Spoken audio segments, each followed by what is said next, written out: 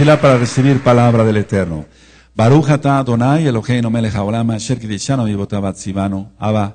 De daber wahakodes lo daber melida dam. No queremos oír palabra de hombre, queremos oír tu preciosa voz, bendito wahakodes Yahshua HaMashiach. Tenemos sed de tu palabra.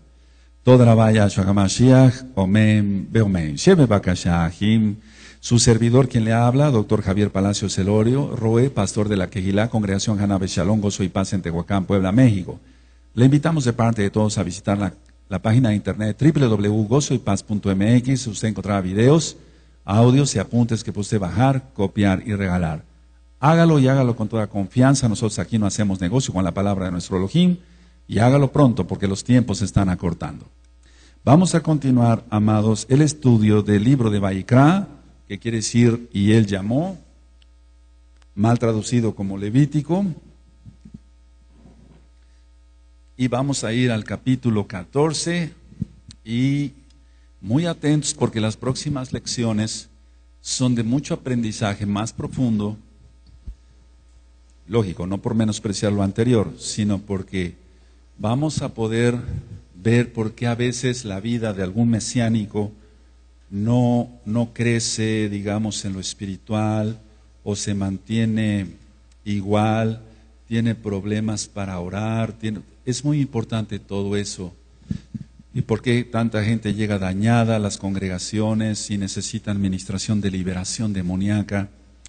He ministrado que he compartido que hay dos audios de liberación demoníaca en la página de internet, gozoypaz.mx, porque si un roe eh, empieza a recibir almas en su, en su casa o en su, vaya ya que tenga una congregación, pues, y no se hace liberación demoníaca a cada uno, a cada uno, la congregación se llena de demonios, se llena de concupiscencia, se llena de, gente que viene del mundo, que no ha renunciado a los pecados, y después empiezan los problemas bastante graves.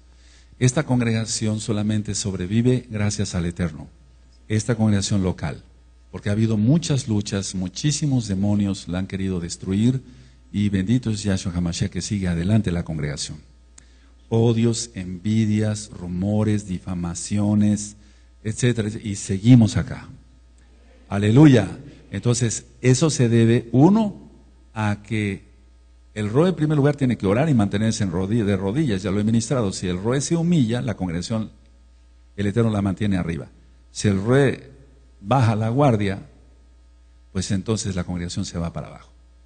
Y aquí hay muchos Kadoshin y muchas Kadoshot que oran, que ayunan, que se guardan de todo lo que hemos platicado, sus ojos, sus manos, sus pies. Y también intervino mucho, gracias a Yahshua HaMashiach, que a cada uno se le, haya hecho liberación demoníaca. Porque vamos a ir avanzando y vamos a descubrir el porqué. Vamos a, Levítico 14, amados. ¿Lo tienen? Eh, nuestro amado Ag va a ir leyendo. Si yo lo tengo que interrumpir, no será falta de educación, simplemente para aclarar, ir ministrando. Vamos entonces a iniciar la lectura. A Gerardo, amén. Y habló Yahweh a Moshe diciendo, Esta será la Torá para el leproso cuando se limpiare.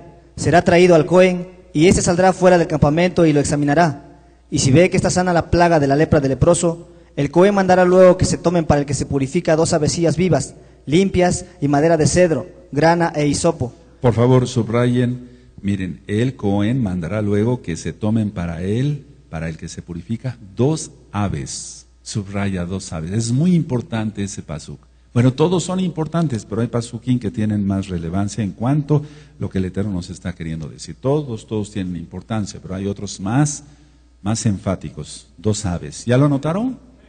¿Y dos aves muertas o vivas? Vivas. Sigue con el cinco. Y mandará el Cohen matar una vecilla en un vaso de barro sobre aguas corrientes. Después tomará la vecilla viva, el cedro, la grana y el hisopo, y los mojará con la vecilla viva en la sangre de la vecilla muerta sobre las aguas corrientes. Y rociará siete veces sobre el que se purifica de la lepra. Subraya siete veces, sigue. Y le declarará limpio, y soltará la vecilla viva en el campo. Es muy importante eso. Y soltará, subraya, y soltará. Entonces un ave muere y otra ave es viva todavía y soltará. ¿De acuerdo? ¿Vamos bien? Aleluya. El 8 Y el que se purifica lavará sus vestidos y raerá todo su pelo y se lavará con agua y será limpio.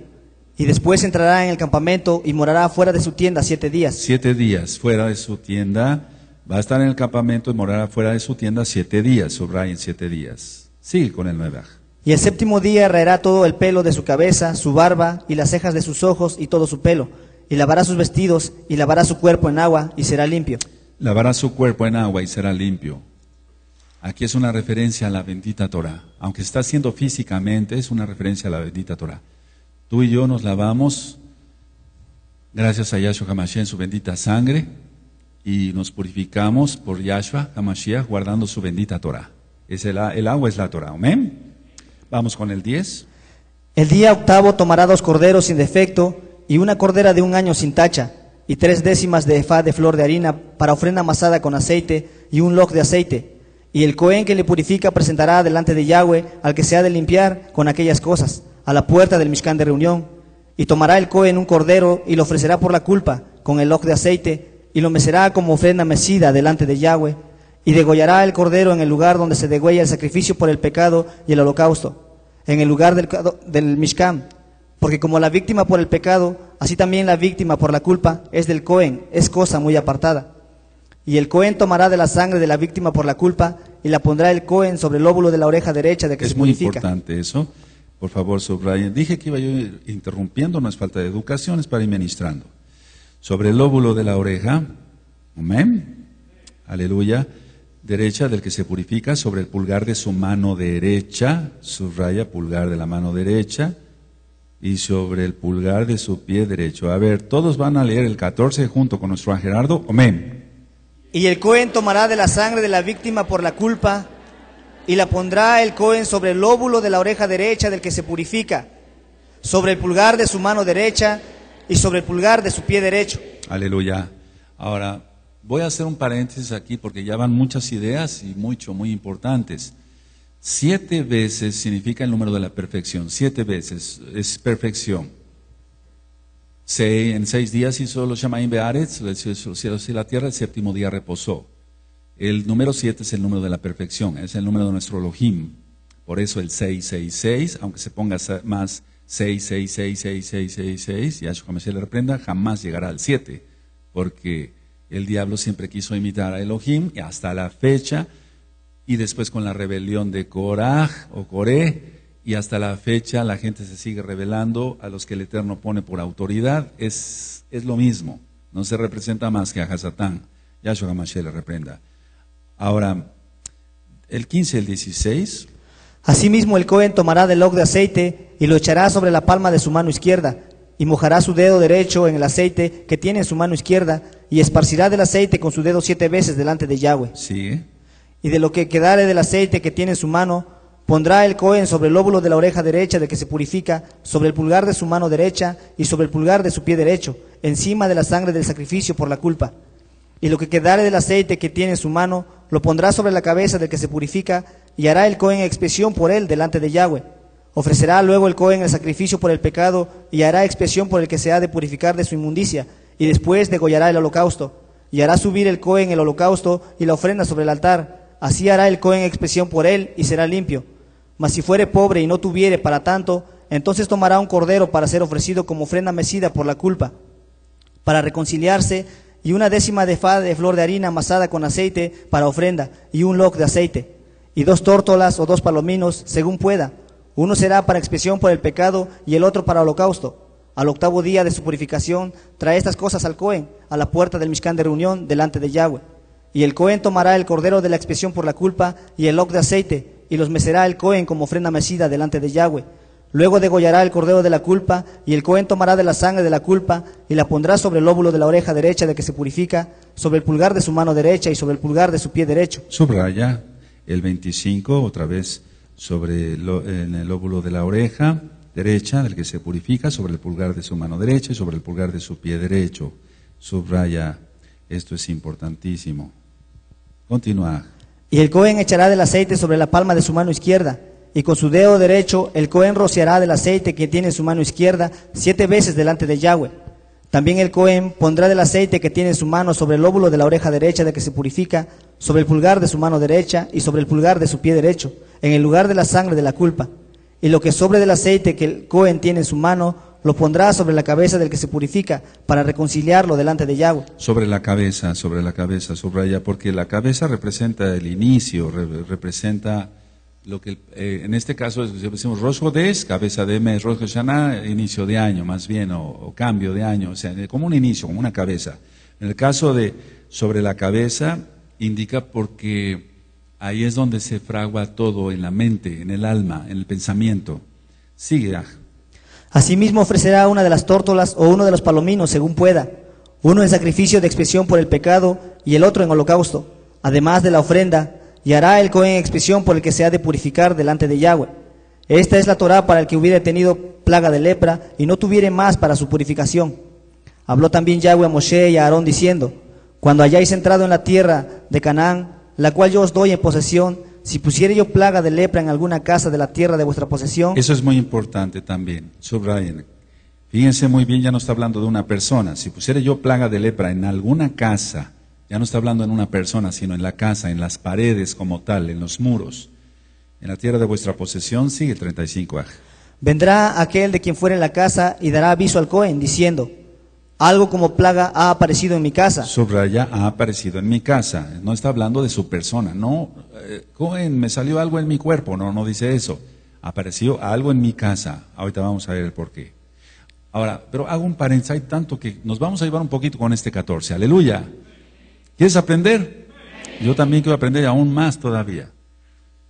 Siempre cuando la gente tiene problemas espirituales, yo lo veo con mis pacientes y no estoy criticando a nadie. La, la, la vuelvo a repetir, es que yo con la lengua haga pedazos a una persona. Yo no hago eso.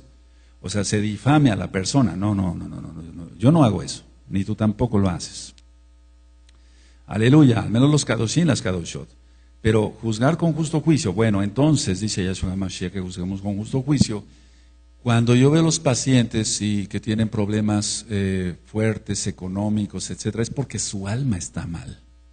Si la miseria, el hambre, la miseria es una maldición, lo dice la Torah. Generalmente muchos dicen, bueno, pero es que así dicen ellos, Dios es injusto, ¿cómo los africanos están padeciendo hambre? Ellos maldijeron a Abraham. Algún día platicaremos de ello. Y he ministrado también, así como pasaron nuestros antepasados de los, eh, de los Yehudim, etcétera, también pasó gente de Ismael. Y entonces la mayoría de las colonias pobres, entre comillas, abunda la miseria, pero abunda el crimen, abunda el, el abuso físico, los asaltos y los asesinatos. Todas las colonias, por ejemplo, de México, Distrito Federal, de esta misma ciudad, en Río de Janeiro, Brasil, etcétera, etcétera, todas esas colonias proletarias, y no soy ningún, yo no soy capitalista, pues, para que se entienda, para los que estudiaron, ni soy socialista, guardo Torah, pero todas esas colonias donde hay miseria, abunda la droga, abundan los demonios y las casas tienen lepra. Las casas tienen lepra, generalmente hay humedades, huele mal el hogar, eh, aunque se ventile, si yo llego a una consulta, señora, por favor, ventile más su hogar, aunque lo ventile, aunque raspen, aunque pinten, aunque limpien, seguirá la lepra ahí. Así que eso es hasta la fecha.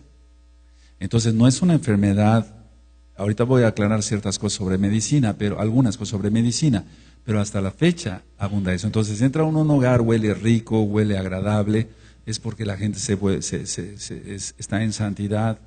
Que hay excepciones, hay lugares, hogares de ricos donde huele bien, pero porque echan mucho perfume y demás. Pero en sí busca uno con cuidado y hay lepra. ¿Cómo de que no? Yo recuerdo haber sido médico de una familia muy adinerada de acá de Tehuacán y una cochera para 25 carros y demás, eh, cu- cubiertos de plata y demás, pero siempre había humedad en las paredes.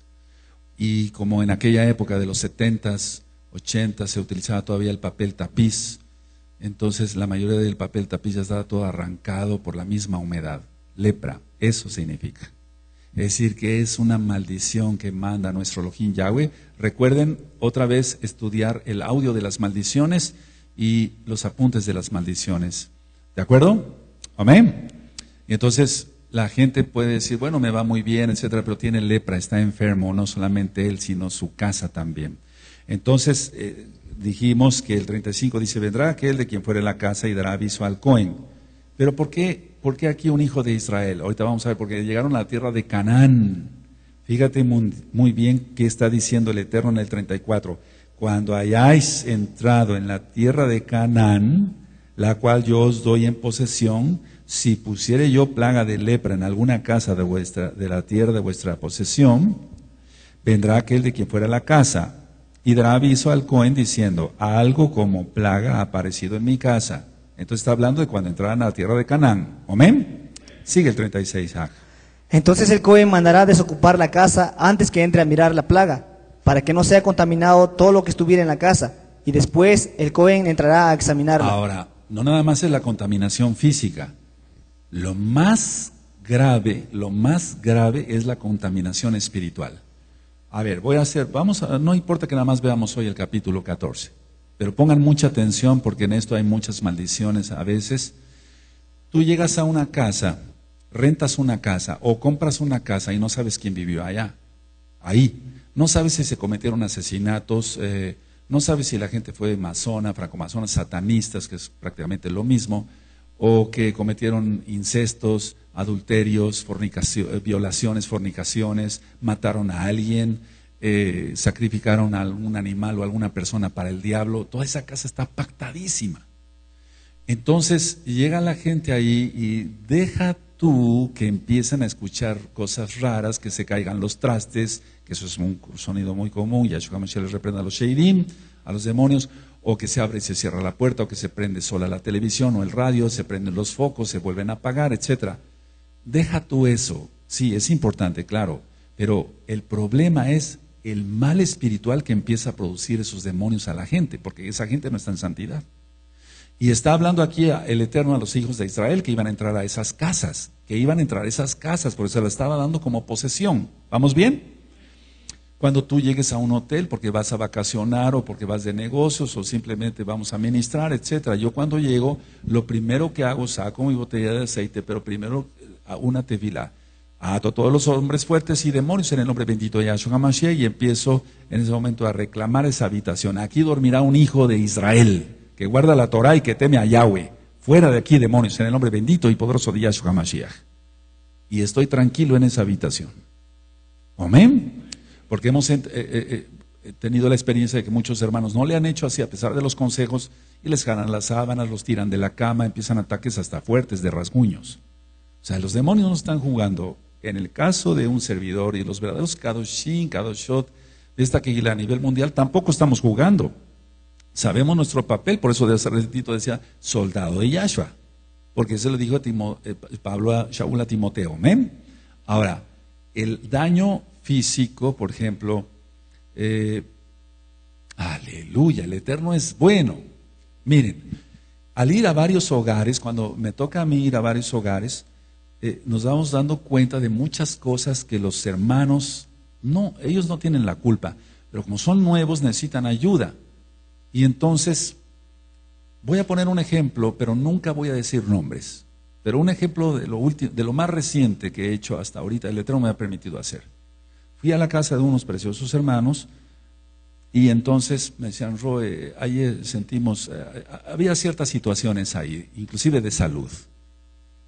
Y entonces yo empecé a orar, le dije, llévame a toda tu casa, le dije al varón, ungí con aceite, pero al llegar a cierto lugar yo sentí una presencia, demoníaca, así tal cual. Y entonces, yo le, eh, ahí es ahí donde uno le empieza a pedir, Abba, háblame por favor, ponme tu bendito Codis. Quiero oír tu preciosa voz. Enmudece cualquier espíritu que no exalte tu nombre. Quiero oír tu preciosa voz. Aquí hay un demonio. Y yo no me muevo de aquí hasta que no tenga yo una respuesta por tu inmensa razón. No le estoy ordenando al Eterno, es que el Eterno es bueno. Había un cuadro con letras y entonces no llevé mis lentes así para mirar de cerca la letra chiquita, entonces me acerqué y empecé a ver y era un cuadro dedicado a la mamá de este aj. No estoy mencionando nombres. Y entonces decía, mamá, muchas gracias por haberme ayudado en mis estudios universitarios, jamás te apartarás de mí. Estaba invocando al espíritu de su madre, este hermano, y ahí estaba ese demonio. Qué tremendo, ¿no? Entonces yo le dije, ah, ven, háblale a tu esposa, por favor. Aquí está uno de los problemas, entre tantas otras cosas que discerní. Aquí está esto. Esa es una invocación a, un espíritu de un muerto. Roe, no me había dado cuenta, no te preocupes, no, o sea, no, no, no te estoy culpando, no te preocupes, para eso me, me llamaste, ¿no? Por eso hay que llamar a alguien que tenga más experiencia, más autoridad espiritual, porque entonces nos van a guiar. Yahshua Hamashiach a través de los Ruanim. Aleluya. Pero si se pasa por alto la autoridad, se cometen muchos tropiezos. Tú no aprendiste a manejar, los que manejamos carro, solos ahí. No, no, no. Tuvimos que tener a alguien que nos enseñara cómo manejar. Si no nos hubiéramos estrellado en un inicio. Entonces, seamos muy prudentes para eso. Aquí está esto. Vas a romper ese cuadro. Yo en, en este momento voy a eh, dar una. Voy a hacer una oración de rompimiento de esa maldición para que ya no haya ligadura entre ti y tu esposa, porque ya son uno, y el espíritu de tu madre. Es un decir el espíritu de tu madre, porque no era su espíritu, sino un demonio. Se rompieron maldiciones. ¿Te das cuenta cuán importante? Ahí no había una lepra como tal en cuanto algo que se estuviera desprendiendo de la pared, descascarachando, como decimos aquí en México, etcétera o se botar el tapiz o la pintura, no, sino la presencia de un demonio exacto ahí. Y cerca de la puerta principal de acceso a esa casa. Entonces, ¿qué había ahí? Un demonio, dejemos que sea una potestad o no, pero un demonio bastante fuerte. Yahshua HaMashiach le reprenda, ya se fue de ahí. Aleluya. En el nombre bendito de Yahshua HaMashiach. En la mera puerta. Entonces, cualquier cosa que él estaba ahí como guardián. A ver, pongan atención, amados preciosos. ¿Quién atiende? He dicho que las puertas, dice Yahshua decía, las puertas del Hades no prevalecerán contra mi quejilá. ¿Está? Y he dicho que el diablo sabe perfectamente bien eso. Las autoridades antes de Israel estaban en las puertas. Decían, vamos a llamar a los ancianos de Israel. Y entonces llegaban, como en el caso de vos. No estoy hablando ni en español ni sino de vos. ¿Sí me entienden? De Ruth, de Ruth. Sí. Aleluya. Entonces, a los ancianos, ellos estaban en la puerta, en, la entrada. Bueno, tú mira las ciudades en todos los países. Hay potestades demoníacas representadas por vírgenes, santos, etcétera, etcétera, en las entradas de las ciudades. Ya lo he ministrado eso bastante, ¿verdad? Sí. Y entonces, nuestra obligación es siempre hacer guerra contra esas potestades. Después voy a entrar a un, no un curso, pero sí cuando menos dos, tres ministraciones que hable sobre, sobre guerra espiritual, pero esto es nada más para gente que esté bien consagrada y que sepa bien a, lo que viene, a escuchar la palabra eterna, tú que te conectas, amado Bach, porque no es, no es un juego esto, no es un juego. De ese tipo de situaciones te vas encontrando, entonces, como en un cuadro tan tan chico y con una letrita estaba la invocación demoníaca ahí. En el curso de liberación, ¿recuerdas cuando muere el papá? Nosotros no tenemos por qué ir a la tumba del padre, etcétera. Vamos, es algo que a mí me enseñaron desde mis abuelos y no lo hago. Aunque mira, el pueblo de Israel es muy común que vaya a orar a la tumba de David, a la tumba de Rachel, etcétera, pero no es lo correcto. No es lo correcto. Hay que honrar a los padres, pero el diablo se aprovecha de mil cosas. Porque fíjense muy bien, ya lo ministré en el audio de liberación. Si uno va, una persona va y empieza, que sea un verdadero mesiánico, vamos a suponer, y empieza ahí y ve la tumba del papá y de repente empieza, papá, tú eras muy bueno, siempre sabías qué que aconsejar. Ya está invocando el espíritu de un muerto, sin que se diera cuenta. ¿Sí se entiende? Entonces tenemos que tener mucho cuidado con esto. La apostasía, el encantamiento, no nada más es, es por las cuestiones de venir o no a la quejilá, el encantamiento está a nivel mundial. Mira, te voy a poner un ejemplo, ayer platicaba Corona que nos visita. Pero, por ejemplo, cantidad de llamadas del banco, ¿no? Por ejemplo, un ejemplo. Oiga, usted ya tiene aprobado un crédito por tanto y tanto, ¿no se anima usted? Y lo va pagando poco a poco. Es un encantamiento eso para que la gente se endeude. Y no estábamos hablando de algo espiritual. ¿Quién entendió?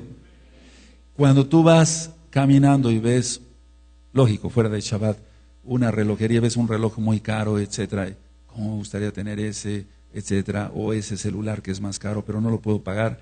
El diablo lanza un encantamiento, cómpralo y endeúdate. O sea, tiene que ver con todo el encantamiento, o sea, no nada más es en lo espiritual, la hechicería existe y vamos a tratar esos temas aparte. Entonces, aquí el tema está profundo, por eso dije que íbamos a ver cosas más profundas. Ese es Levítico 14. Ahora, eh, dice el 36, ah, amén. Entonces el Cohen mandará a desocupar la casa antes que entre a mirar la plaga, para que no sea contaminado todo lo que estuviera en la casa, y después el Cohen entrará a examinarla. Es que la, la maldición llega a todo. Perdón que vaya yo interrumpiendo. Aquí en el estado de Guerrero, pero eso es a nivel mundial, se vende un cuadro que cómo ha comprado la gente. Es un cuadro de un viejito, es un cuadro de un viejito con su sombrero de palma todo roto, él con su cutis ya, digamos, su piel ya marchita por él, la barba larga pero mal arreglada, eh, sucio, con la ropa sucia, desgarrada, etcétera. Y ese cuadro, ¿cómo lo compra la gente allá en el estado de Guerrero?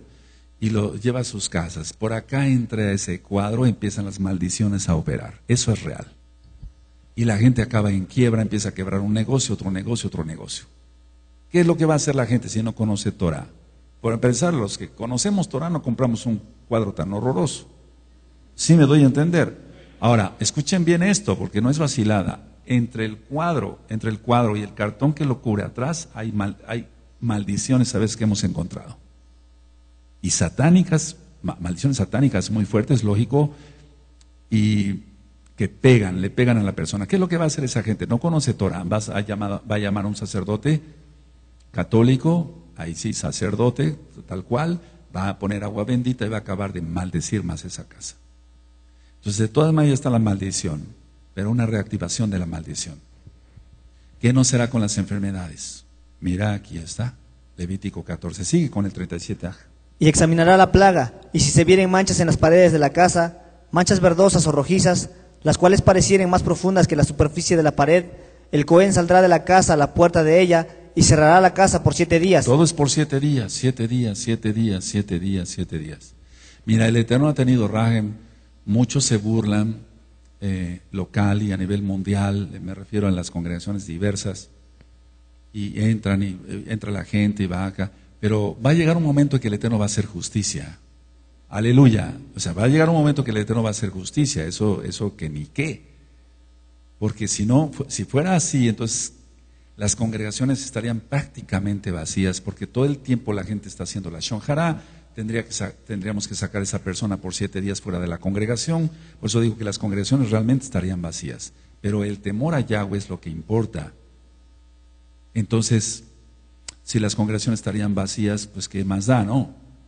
La cuestión está que ahorita puede entrar la gente, estar y ser un traidor y darle la puñalada al roe, etcétera, o a los ancianos por atrás y salir y entrar y no pasa nada. Yahweh vendrá.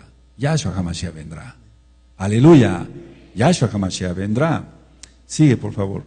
Y al séptimo día volverá el Cohen y la examinará. Y si la plaga se hubiera extendido en las paredes de la casa, entonces mandará el Cohen y arrancarán las piedras en que estuviera la plaga y las echarán fuera de la ciudad. Y arrancará las piedras en que estuviera la plaga. Arrancará las piedras. Ahorita vamos a ver el por qué. Y las echará fuera de la ciudad en, en lugar inmundo. ¿En lugar qué? Sigue con el 41. Y hará raspar la casa por dentro alrededor y derramarán fuera de la ciudad en lugar inmundo el barro que rasparen. Sigue. Y tomarán otras piedras y las pondrán en lugar de las piedras quitadas, y tomarán otro barro y recubrirán la casa. Y si la plaga volviere a brotar en aquella casa, después que hizo arrancar las piedras y raspar la casa, y después que fue recubierta, entonces el Cohen entrará y la examinará, y si pareciere haberse extendido la plaga en la casa, es lepra maligna en la casa, inmunda es. Es que los cananitas, cuando lleguemos a Levítico 18, vamos a ver el por qué era una, una promiscuidad terrible, era una promiscuidad terrible.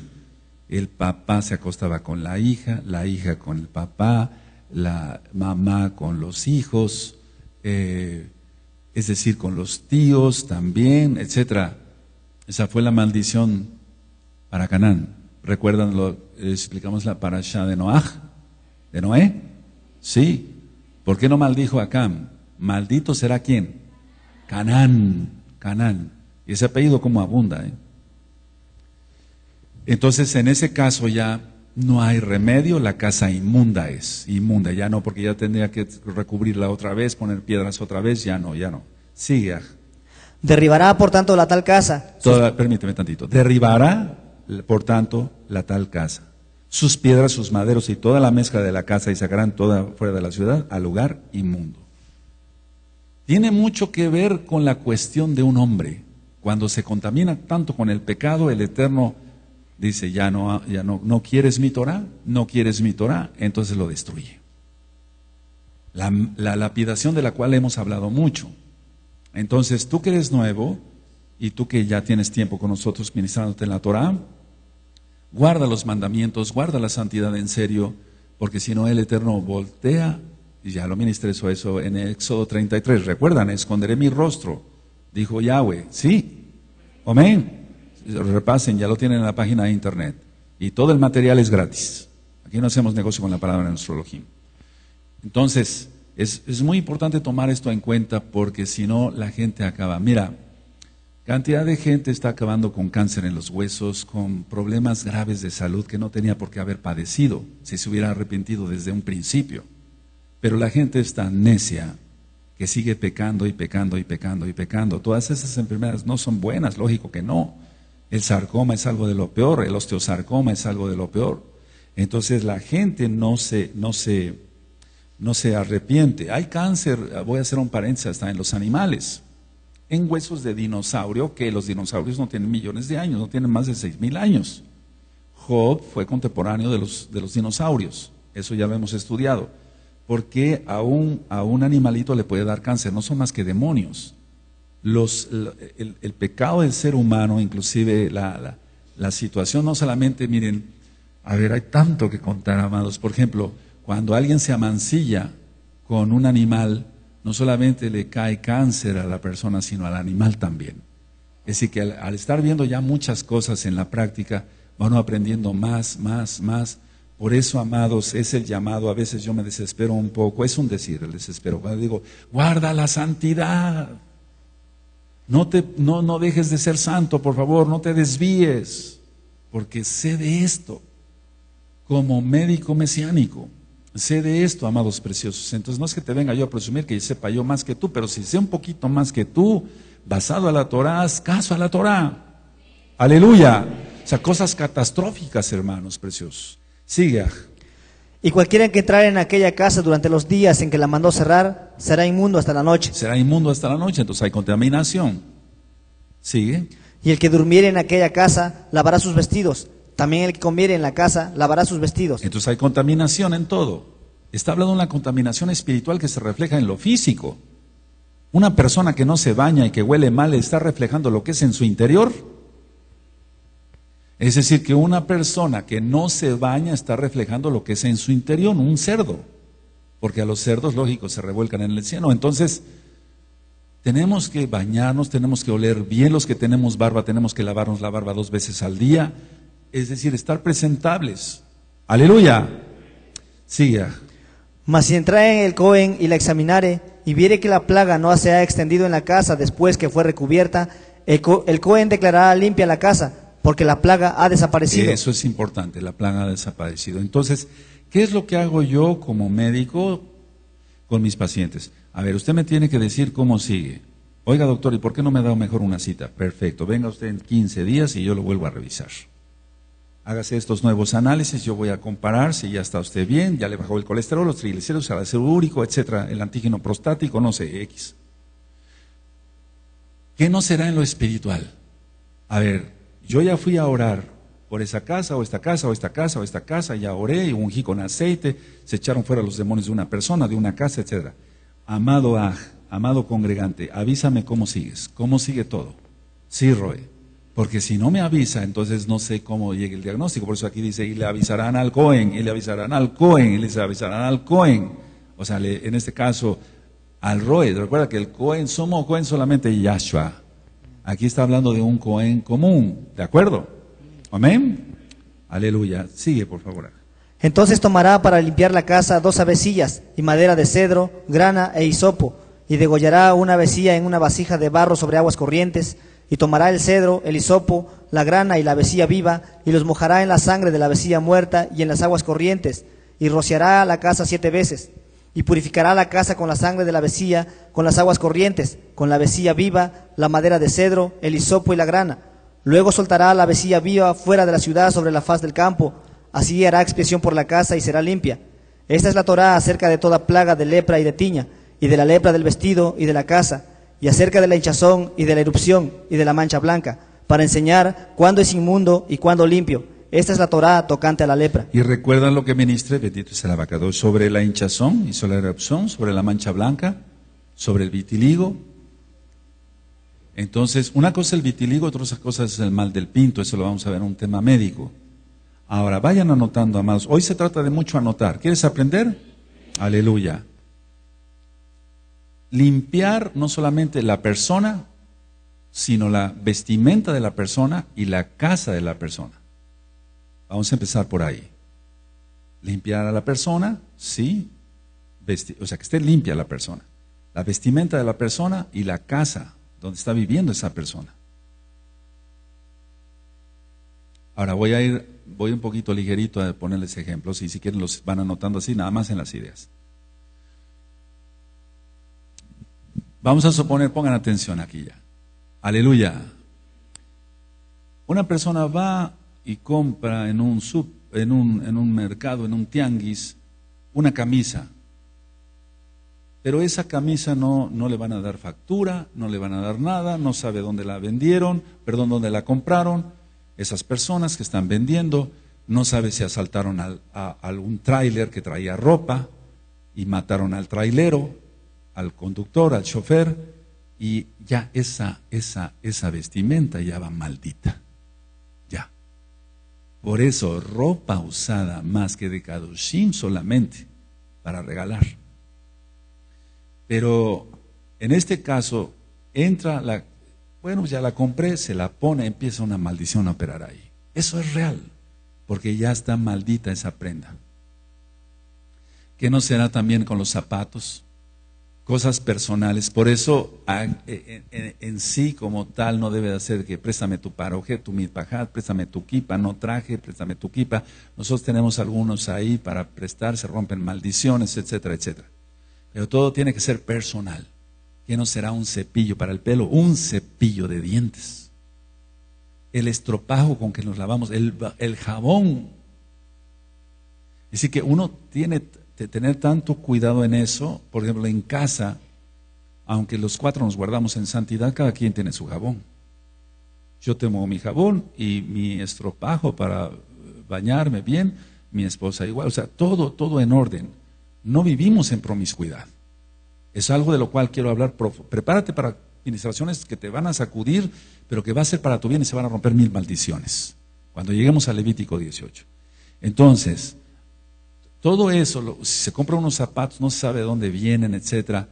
Pero vamos a suponer que tú vas a un supermercado o un tianguis, un almacén de ropa, donde te den factura y todo sea legal. De aún así rompe maldiciones. No te pongas nada si no rompes maldiciones. Y no es que yo esté obsesionado con esto, es que sé cómo opera esto. En cantidad de boutiques, en cantidad de negocios prenden sus inciensos para adorar al diablo y que, se haya, que haya ventas. Y nosotros somos hijos de Israel. Nosotros no vamos a ponernos una prenda que fue dedicada al diablo, ¿verdad? Entonces rompamos maldiciones. Aleluya. Entonces limpia la persona, la vestimenta, la casa. Ahora, tú, vayas tú vas a llegar después de esta administración. Mira que es Shabbat y no se te vaya el gozo del Shabbat, es para que es. Es que el problema está en la lengua. Estamos hablando aquí de cosas profundas que ahorita quiero ir desglosando. Entonces, el lavarse como tal es el mikveh, anótenlo. La persona entonces va a limpiar el mikveh, sí, pero antes tiene que hacer un auténtico teshuvah, tenía que llevar las avecillas, tenía que llevar esto, el otro, pero ahora murió Yahshua y resucitó Yahshua, bendito es su nombre. Entonces, ¿qué tenemos que hacer? A ver, por eso en Hebreos 10 y 26, verso 26, muchas, cosas, muchas personas toman a juego y si hubiera cometido pecados, o sea, la persona comete pecados después de haber conocido la verdad, ya no hay nada más que hacer por los pecados. Porque si, si viola la Torah de Moshe por dos o tres testigos, muere. Pero ¿cuánto más castigo recibirá el que pisoteare la sangre de Mashiach Yahshua? ¿Te das cuenta? Los mesiánicos estamos en una posición muy delicada. Tenemos que guardarnos en santidad. Más te vale, más te vale, más te vale, más te vale. Y más me vale a mí mantenernos en santidad. ¿Queda claro? La persona después se vuelve ciega, se vuelve ciega, ya no ve que, hizo mal, que está, que, no que hizo mal, sino que pecó y sigue pecando y siguen maldiciones sobre su casa, maldiciones sobre su casa. Eso ya hemos hablado bastante, está Deuteronomio 28, llegaremos allá, pero también está el audio de las maldiciones sacado de ahí. Entonces, por ejemplo, me van hablando muchas personas, Roe, ¿cómo puedo yo romper esta maldición de, adulterios en mi familia? Es que está en la ya lo leímos, cuando estudiamos Deuteronomio, hace tiempo. Y entonces otro ya se dormirá con tu mujer. ¿Está? Ese es el adulterio. Y entonces se va por maldición. vamos, es generacional esto. Es una maldición generacional. Entonces, cuando lleguemos a Levítico 18, tú no puedes faltar, por así, en primer lugar, por adorar a Yahweh, pero todas estas ministraciones que te van a servir. Vendrá la tribulación, entonces necesitaríamos estar totalmente en santidad para que el Eterno por su inmensa rajem nos guarde. Aleluya. Ahora, anteriormente, pero sigue vigente, pues.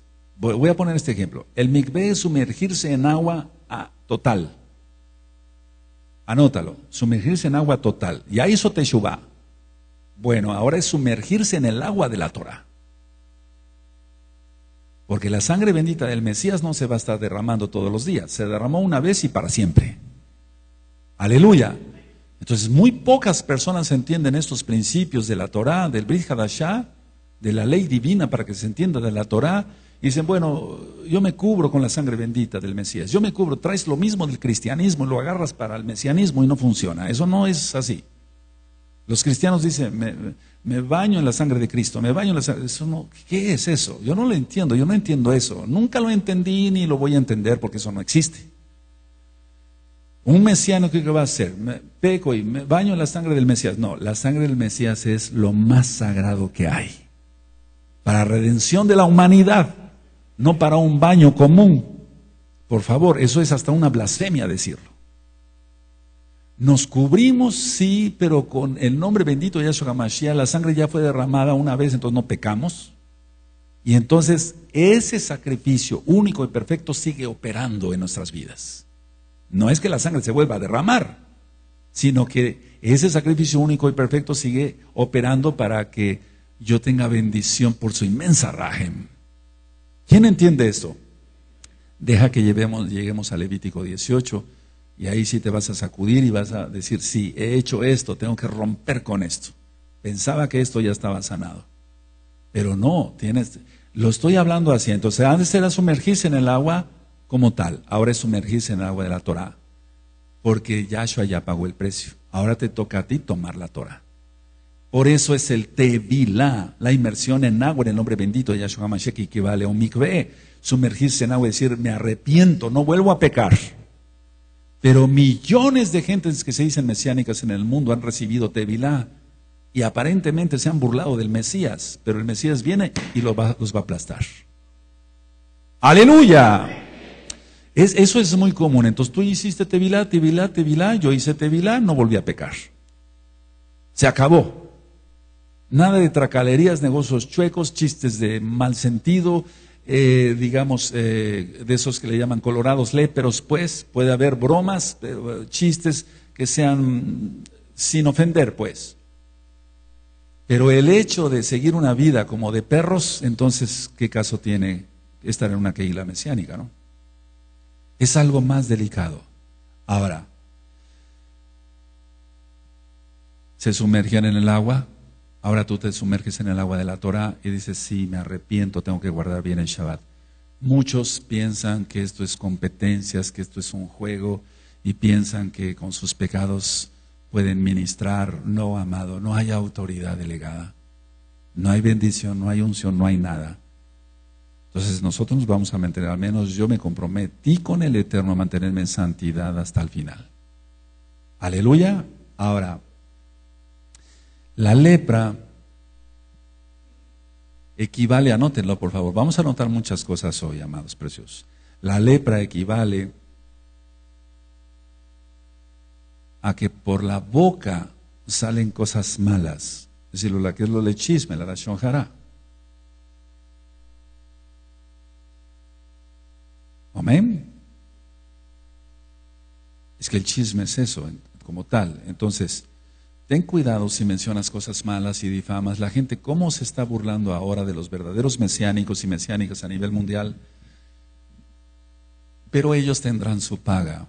Estoy hablando a nivel mundial, estoy hablando a nivel mundial. La gente va a tener su paga. No te, no te ama un católico, ¿verdad? Un, un musulmán, un cristiano. Inclusive muchos mesiánicos que apostatan. No te aman. Pues, ¿Para qué darles la mano?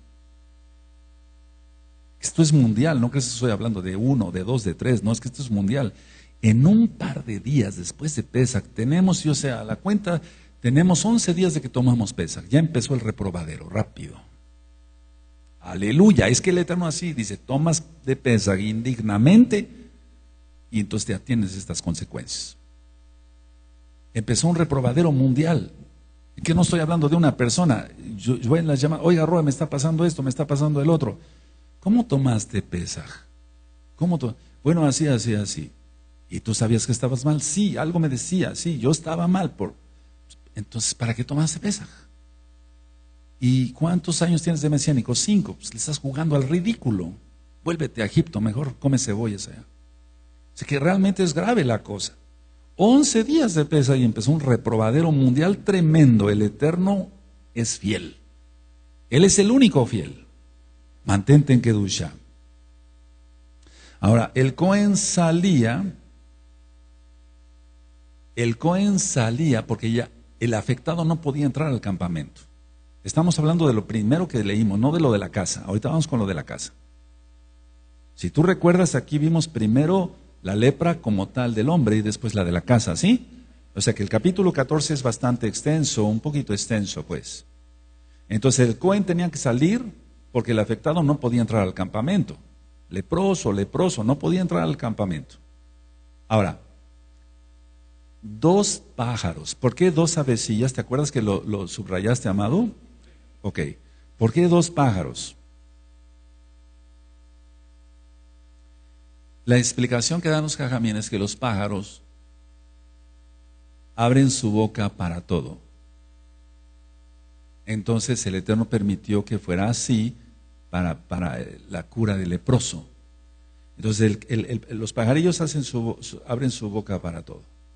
Ahora hay cosas que directamente aprendemos del Ruajacodes, bendito es su nombre, hay cosas que aprendemos de los Jajamín, de los Morim, etc. Así como un pájaro abre su boca para todo, para lo bueno y lo malo, porque desgraciadamente hay, hay aves que no abren su boca para cosas buenas. Mira, esto lo conocen bien los brujos, ¿eh? Por eso a veces agarran los pajarillos y hacen cosas y conjuros Recuerda, los pajarillos son creación de Elohim, el diablo no creó nada, él es criatura. Pero lo, disfraza, lo distorsiona y empiezan cosas ahí. Ahora, dice aquí, a ver, déjenme retomar acá, bendito sea el abacados. Dice en el 14.4, y el Cohen mandará luego que se tomen para el que se purifica dos avecillas vivas, limpias, y madera de cedro. Madera de cedro, igual, igual a la soberbia y a la altivez. ¿Y qué tiene que ver si el pobre árbol de cedro no sabe nada de eso? Es inerte. Pero sí tiene vida. ¿eh? Porque generalmente la gente siempre queremos tener cosas buenas en el hogar. Y decimos, bueno, que tenga yo un buen mueble de cedro. Eso no es pecado.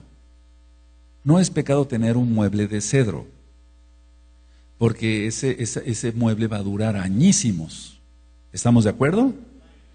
Y huele rico la madera de cedro. Llega uno a un hogar y huele rico. El problema no es ese. El problema es lo que yo te voy a contar, que yo me he encontrado en la sociedad dando consultas. Llego a una casa, me abre el mayordomo o, una Sí, lo voy a conducir a donde está el segundo ayudante del ayudante, hasta que llego yo al paciente. Y son cantidad de corredizos y de recámaras que voy pasando. Todo vuelve. Lo primero que me dicen muchos de mis pacientes, mire doctor, qué bonito mueble, es de cedro, la presunción.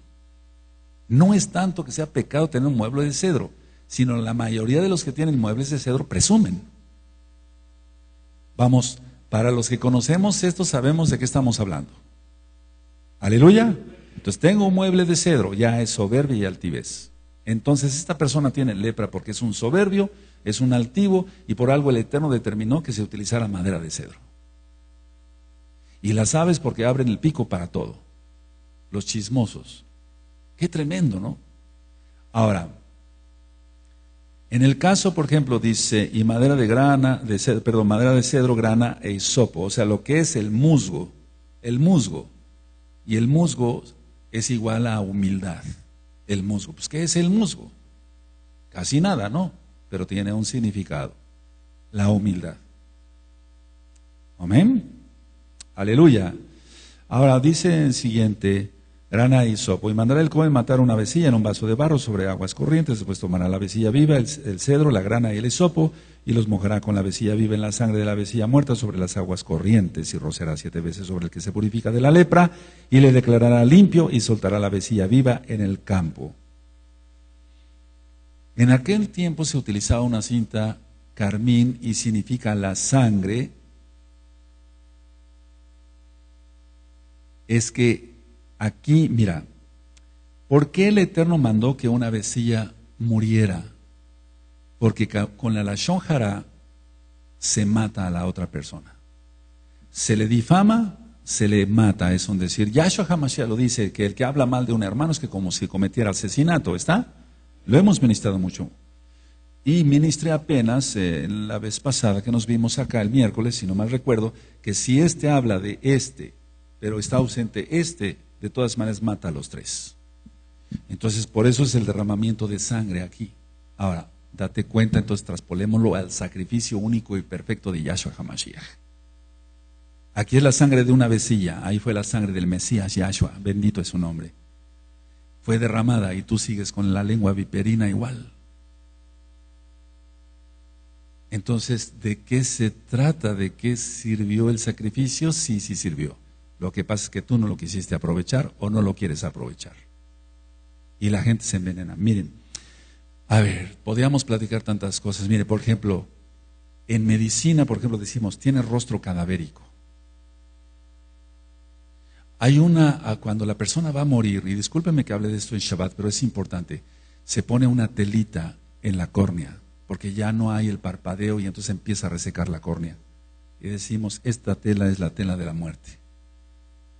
Bueno, yo te puedo asegurar, viendo miles de pacientes y, ahora sí miles de mesiánicos, que muchos tienen ese tipo de tela, porque todo lo que afecta, escucha los audios del alma y el cuerpo, lo que afecta al alma se refleja en el cuerpo. Y una persona que hizo la shonjara, la shonjara y difamación a un, a un congregante común o a un roe o a un anciano o a alguien, va a acabar con rostro cadavérico. No me equivoco, sé de lo que te estoy hablando. Generalmente vemos una persona, tiene rostro cadavérico, pero tiene buen peso, no está delgado, porque tiene rostro cadavérico. Generalmente indagando, doctor Palacios, o sea, ahí no me dicen Roe, lógico, pues estoy hablando entre Goyim. Dice, eh, doctor Palacios, eh, mi tío siempre se la pasó hablando muy mal de mi tía y maldecía a mi, a mi, me maldecía a mí o el día en que nací, etcétera, rostro cadavérico ahí. Entonces, la, la, sangre significa muerte, en este caso. Yahshua murió por nosotros, ¿verdad? Aleluya. Entonces, por eso se tenía que matar esa vecilla. Ahora, el Cohen lo sumergía en agua ensangrentada, aquí está, para señal de que ya no hable mal de nadie o ya no hable más mal de nadie. Por eso lo sumergí en agua.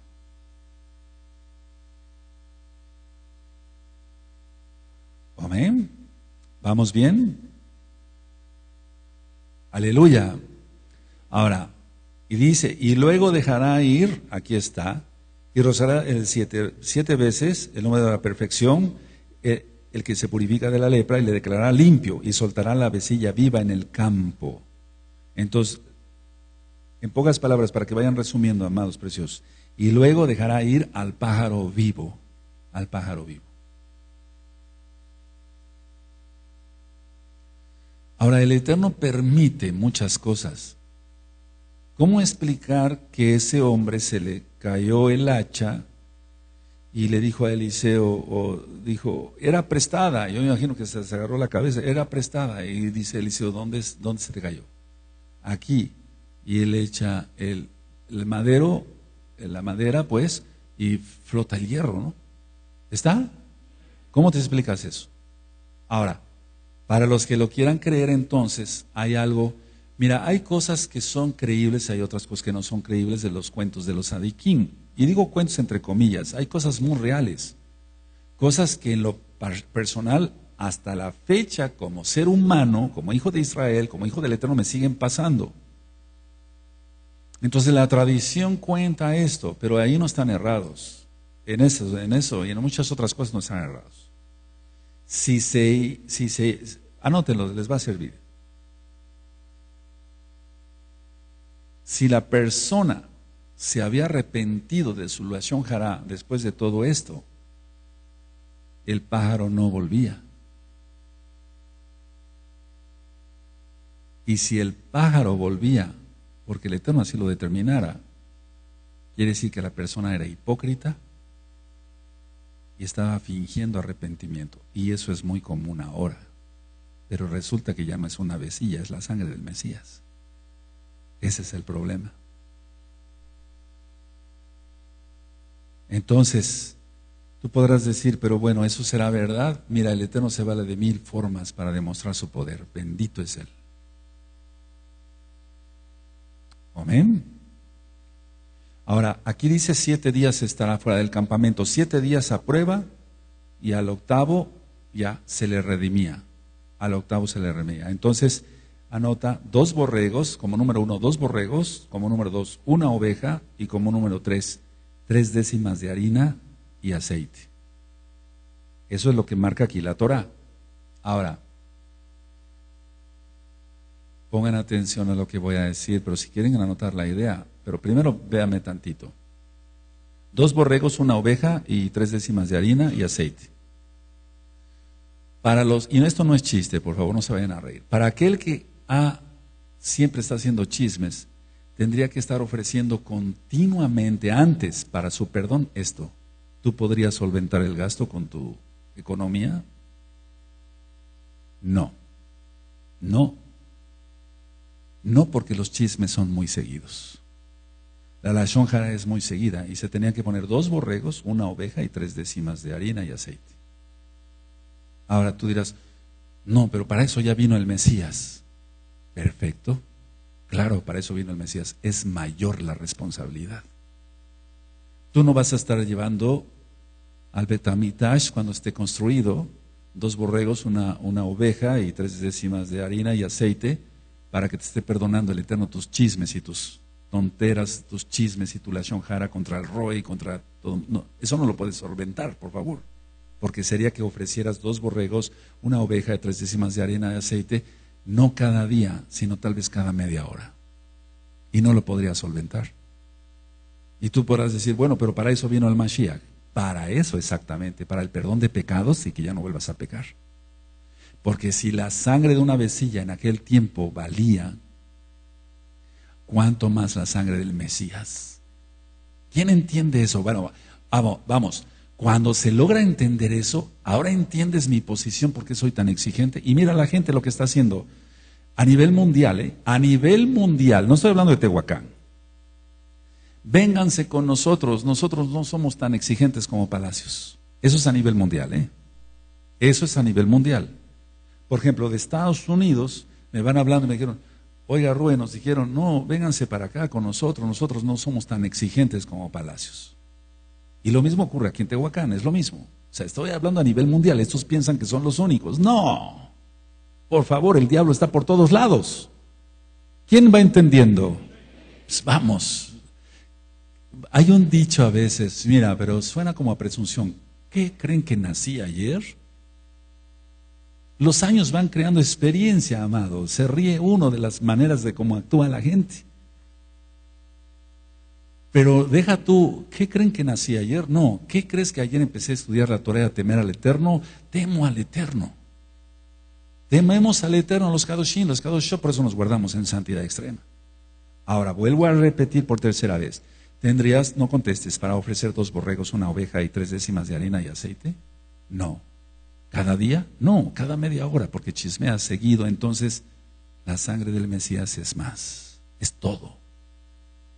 No, no te redimió con oro ni con plata, dice la Tanaj, dice Kefas, sino con la sangre bendita del Mashiach, Yahshua. Ahora, ¿entiendes tu posición? Millones de mesiánicos piensan que van al cielo. No. No estoy hablando de cristianos, ¿eh? están perdidos guardando el domingo. Estoy hablando de mesiánicos. Pero realmente no son soldados de Yahshua, son soldados del diablo. Todo el tiempo. Y pastores chismosos también. Estoy hablando a nivel mundial. Ahora, vamos a anotar esto, amados. Del Korban Hashem, o Korban Hashem, era por, era por la culpa para pedir perdón al Eterno. Pero ahora es la sangre bendita de Yahshua HaMashiach y no volver a pecar. El Korban Hashem era, o Korban Hashem era por la culpa, para pedir perdón. ¿Vamos bien? ¿Puedo continuar? El Korban Olá era Olá, O-L-A, así tal cual. Por agradecimiento a Elohim Yahweh por haber sanado de la enfermedad. Entonces primero era el Korban Hashem y después el Korban Alá, hola, perdón, para pedir perdón y después para agradecer. Y el eterno Yahshua derramó su sangre una vez y para siempre la gente pisotea la sangre del Mashiach, no de una vecilla, ni de un borrego, sino de Yahshua. Por esto digo que cantidad de mesiánicos piensan que van a los Shamaín, pero su destino es el infierno, es la muerte eterna, la separación eterna de nuestro Elohim. Espero que con esta administración, voy a seguir ahorita, con estas administraciones te vuelvas temeroso del Abba, Kadosh. Aleluya. Ahora, la número tres es una ofrenda solicitando de Elohim su ayuda. Pero eso ya no se hace. En este caso es por el pecado, no es un sacrificio de paz. Estamos hablando que es un sacrificio por culpa. No es un sacrificio. Los sacrificios de paz se volverán a hacer en el milenio. Por eso va a haber cocinas en el templo. Ahora dice, en la Tanakh dice salpicará. Salpicará, en el, en el, en el verso 7 dice y rociará. Pero es igual, rociar y salpicar. Entonces salpicará. ¿Por qué? ¿Por qué es salpicar? Es un recuerdo o recuerda más bien al afectado cuando habló mal de la otra persona. Todo tiene un porqué en la Torah. Vamos a ir a profundizar. Salpicará, recuerda, está recordando al pecador que se quiere arrepentir, al afectado, pues, en este caso al afectado. Más recuerda, recuerda cómo esta persona al hablar mal lo salpicó con su veneno, pues para que se entienda, si quieren anotarlo así. Se habló mal de la otra persona, señalándolo con su dedo y con su lengua y salpicándolo de veneno. Por eso ahora él tiene que ser salpicado, rociado con, con esto, con la sangre. ¿De acuerdo? ¿Vamos bien? Estamos hablando, no, no, hemos llegado a la lepra de la casa, estamos hablando de los primeros versículos del capítulo 14 de Baikra, de Levítico.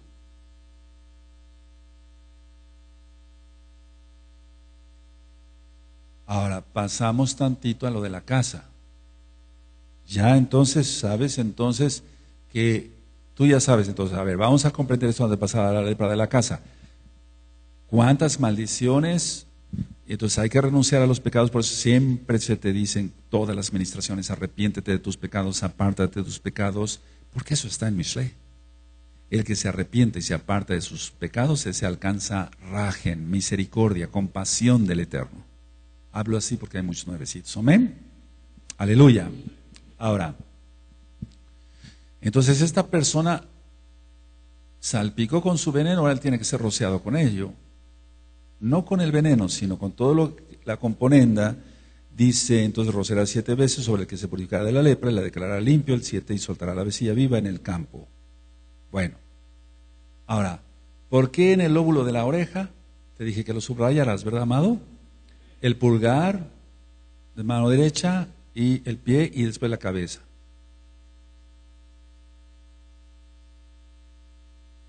Aquí es diferente a lo de Aarón. Esto señala, anótenlo, es igual a que señala que los chismes manchan a la víctima de la cabeza hasta los pies. Es diferente a la unción de Aarón. Es otra cosa. Señala que los chismes manchan a la víctima de la cabeza a los pies.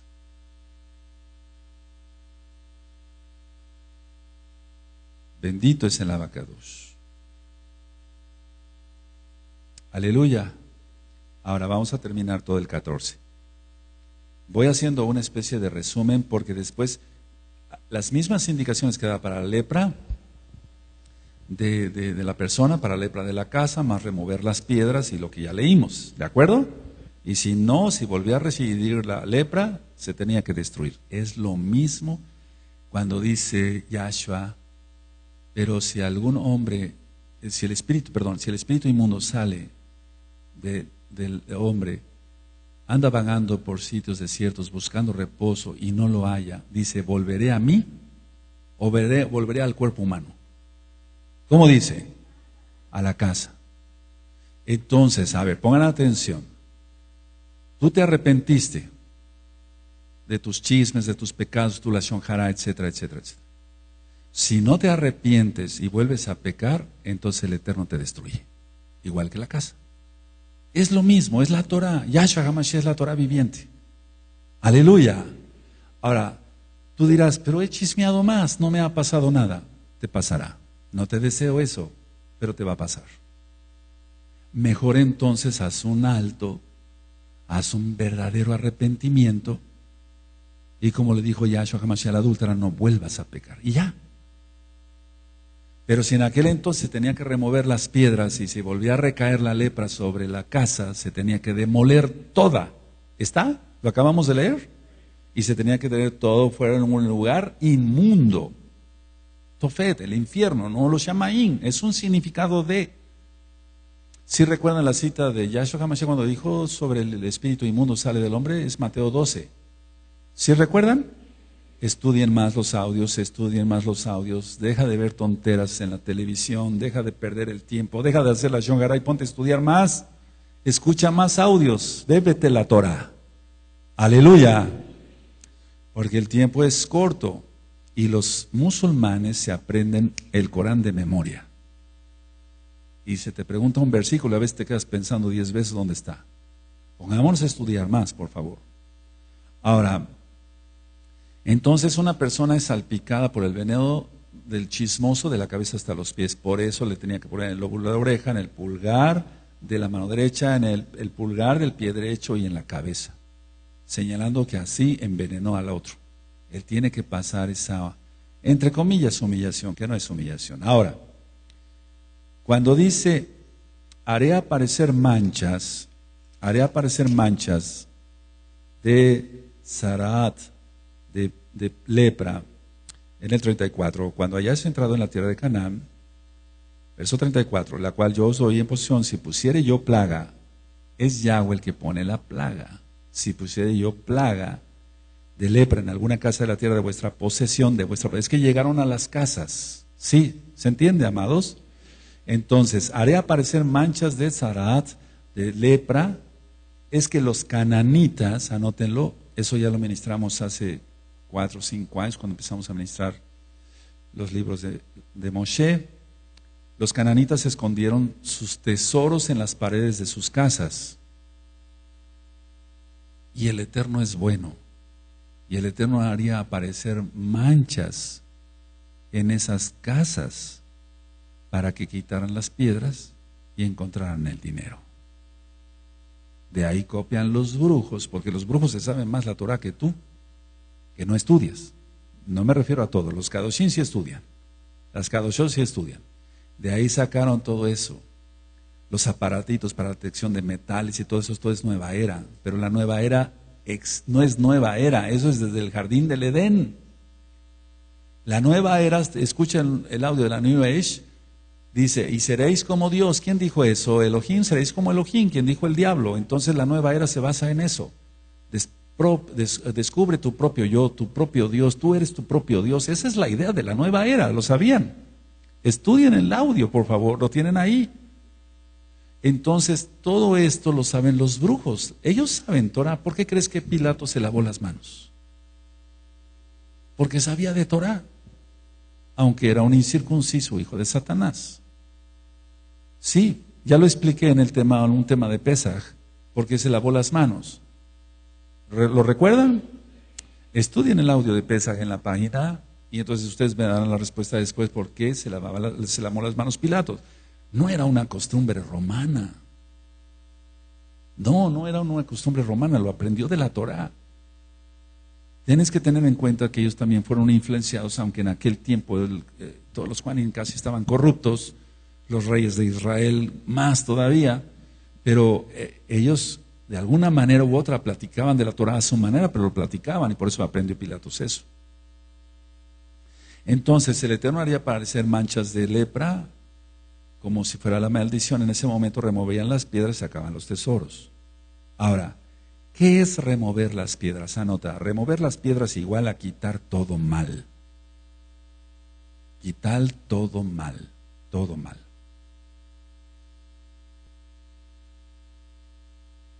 Bendito es el abacados. Aleluya. Sé fiel a Yahweh, sé fiel a Yahshua HaMashiach, que es el mismo Elohim, porque Él viene pronto. Él viene pronto. Y Él no tomará, no, no tendrá por inocente a quién? Al culpable. Eh, mira, estamos hablando de esto. Ahora, rociará la casa siete veces. Amén. Anótelo, rociará la casa siete veces.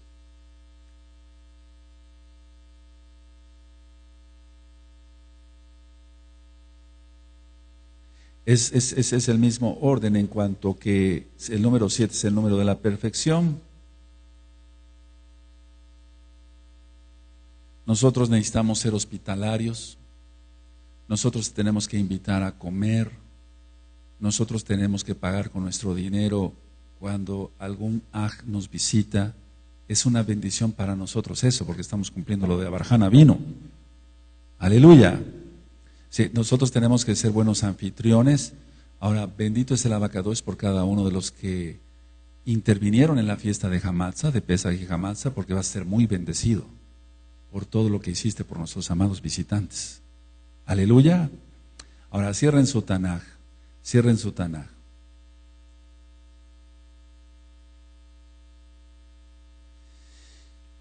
A veces pareciera que estoy enojado, pero no, no estoy enojado. Lo que pasa es esto hay una botella de veneno y dice así toda la Dice veneno y trae una muerte. Después platicaré por qué se puso eso de la calavera y todo eso. Y los piratas, por qué el signo de la muerte, etcétera, etcétera. ¿Por qué, por, ¿Por qué los piratas sin un ojo generalmente? Ahí tienes a Marilyn Manson. Ellos hacen conjuros y ofrecen parte de su cuerpo a Satanás, y a eso jamás les reprenda. No tanto porque lo perdían eh, con las espadas, no, había muchos rituales ahí. Si recuerdas haber visto así algún cuento, pues cuando éramos niños de piratas y, cubriéndose un ojo, o sea, el por qué. Todo eso también, aunque muchos no, no habían perdido un ojo, hago, hago, varios paréntesis, no habían perdido un ojo, recuerda la gorra frigia de Santo Claus, Moloch el ojo que todo lo ve. La masonería es más vieja de lo que pensamos, porque muchos piratas no habían perdido ningún ojo, o sea, tenían los dos pues, porque se tapaban uno. Decían, no, es que así vamos a ver mejor vamos a ver mejor todo lo que viene, el futuro, etcétera, etcétera. Hay cantidad de cosas que vamos a platicar. Aleluya. ¿Les gustaría?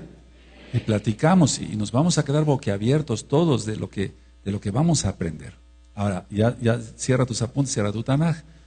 Con este capítulo 14, uff, tenemos para decir, Abba, ten rajen de mí. ¿Sí o no? Ten rajen de mí. Y yo no sabía lo de las dos avecillas, no sabía lo que representaba la sangre. Ahora tú ya veniste, bendito Yahshua HaMashiach, ya pagaste el precio. Ten rajen de mí. Jamás. Repite conmigo, jamás. No en cuanto a violencia ¿eh? en hebreo. ¿eh? No, jamás vuelvo a pecar. Jamás vuelvo a chismear. Jamás vuelvo a hacerle daño a nadie. Jamás. Seré el Kadosh que tú quieres, Abba. Amados, el mundo espiritual, no te estoy hablando de Kabbalah, pero cuando uno tiene experiencias eh, que el Eterno nos va permitiendo por medio de los dones del bendito Ruach entiende uno mil cosas. Estudiando la bendita Torah, entiende uno mil cosas que antes tú y yo no entendíamos. Pero mira, lo que a mí me ocupa, lo que a mí me ocupa es que sí, mucha gente está haciendo para el mesianismo, que bueno. Pero el problema es que ni siquiera a veces dejan que se les ministre bien. Prefieren la cábala, el esoterismo, que hagan negocio con ellos, que les cobren los diezmos, etcétera. Prefieren eso porque vienen con todavía la mentalidad cristiana de Roma, de Egipto. Prefieren, por ejemplo, que les solapen sus pecados. Es muy común esa frase, vénganse con nosotros. Nosotros no somos tan exigentes. ¿Quién crees que está hablando ahí? El diablo, a través de las personas. Estoy hablando a nivel mundial. Porque me van hablando de varios estados de Estados Unidos de Norteamérica, o inclusive de Europa, de Sudamérica, etcétera, y me dicen, Roe, nos están diciendo esto. Le digo, a ver, a ver, tú tienes cerebro, ¿verdad? tienes eh, sabiduría, no sé. Sí. ¿Quién crees que está hablando? ¿Te está hablando el hermanito fulano o el diablo? No, pues yo lo sigo viendo como mis hermanos. Perfecto. Ya no hablamos más. te las le cuelgo. No tengo nada más que hablar. No tiene discernimiento. Y tú dirás, pero ¿por qué eso es tan duro? Porque cualquiera persona con uso, a ver, tú no dirías, si esta agua fuera de Shabbat te cuesta, dice aquí, cinco pesos, y te, lo, te dice el Señor, son 10 pesos. Ajá, sí. Aquí dice 5, pero usted me dice que son 10. Con mucho gusto le pago los 10 dólares o los 10 pesos. ¿Tú lo harías? No, por favor, tú dirías, pero ¿por qué dice aquí 5 usted me cobra 10? Ah, perdón, se me pasó, soy un trácara, no.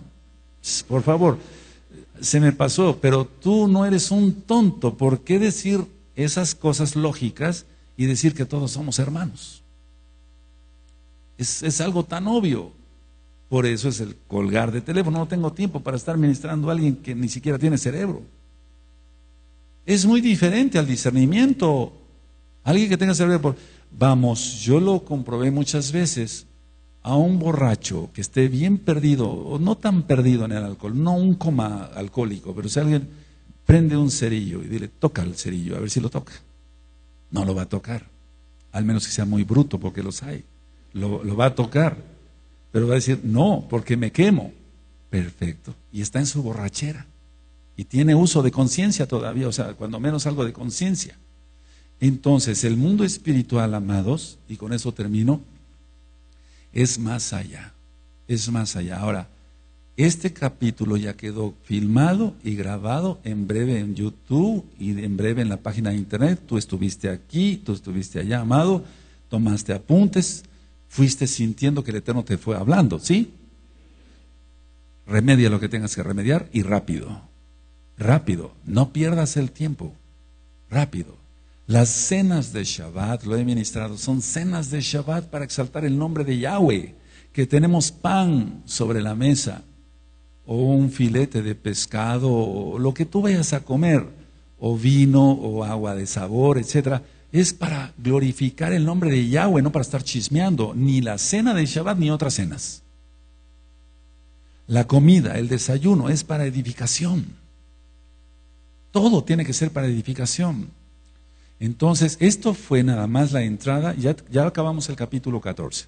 Si algo más me pone el Eterno, con mucho gusto. Si algo más aprendo de los, los que más saben, aleluya, te lo doy a, a, conocer. Y vamos, seguiremos sobre el 15, pero cuando lleguemos al 18, sí, no quiero que te pierdas por nada esa administración. Y vas a ver cómo vas a ser sanado de mil cosas, si tú quieres. Si tú te arrepientes totalmente de tus pecados y decides, decides seguir a Yahshua, Hamashiach, por quien es Él.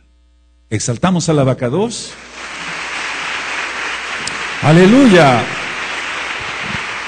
Bendito es el nombre de Yahweh. Exaltamos.